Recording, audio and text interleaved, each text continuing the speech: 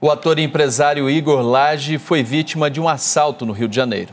É, se Igor contou nas redes sociais que o crime aconteceu no Engenho Novo, quando ele chegava com a filha, a irmã e a sobrinha para visitar a mãe.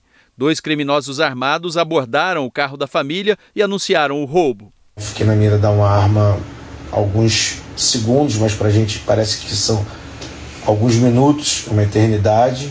A dupla fugiu com celulares e o carro do ator. Apesar do susto, nenhuma vítima ficou ferida. A sua fonte segura de informação cada vez mais perto de você. Baixe agora o aplicativo do SBT News.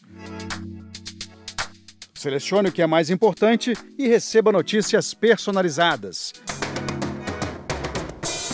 Tudo o que acontece no Brasil e no mundo 24 horas por dia. A informação em tempo real na palma da sua mão.